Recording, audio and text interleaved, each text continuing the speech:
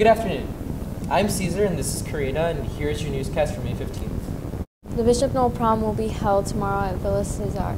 Even if you're not going, feel free to stop by and watch the prom goers pose for pictures. And for some reason, it's usually a hotspot for former BNI students who graduated last year. They must have nothing better to do with their summers. The theme for prom is, geek, is Greek nights. The prom goer who does their best John Stamos impression at the door will win one baklava for you and your date. Have to share it. We're not giving away two baklavas.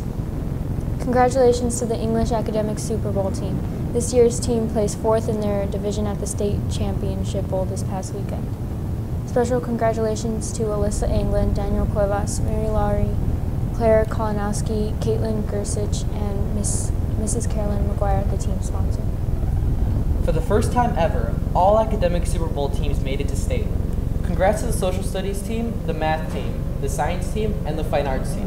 And many thanks go to Mr. David Tataco, the Super Bowl moderator, for coaching these teams for the past few years.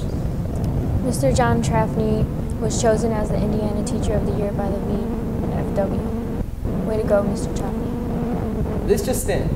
Chisel dabs are out, dad bods are in. The senior banquet is next Wednesday, May 20th. White Castles and Little Caesars will not be served, we promise.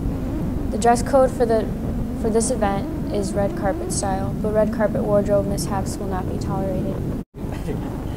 and last, here's the final exam schedule. We will have school on June 4th. Here are Sean and Evan with sports.